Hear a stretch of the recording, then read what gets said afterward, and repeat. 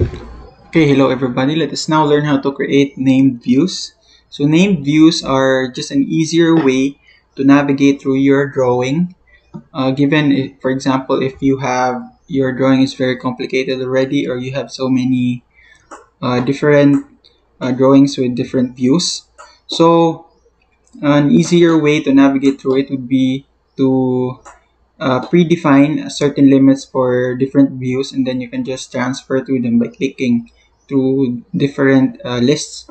Okay so we have the view manager for that. You go to the uh, view tab here in the ribbon and then uh, select view manager and then create new.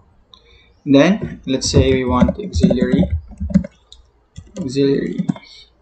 And we can then define a window for that and then let's do that. And then press enter.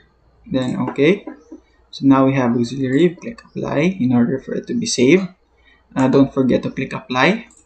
So new again for the top. Okay so define a window. Let's do that. Enter. Okay and then apply again. Then a new one for our left side. Okay so define a window. Here press enter. Okay and then apply.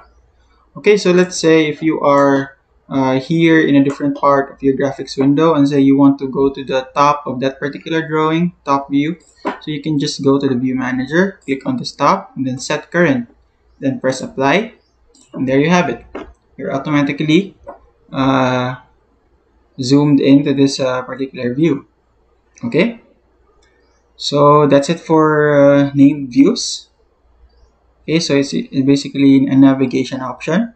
Uh, thank you for watching. See you in the next video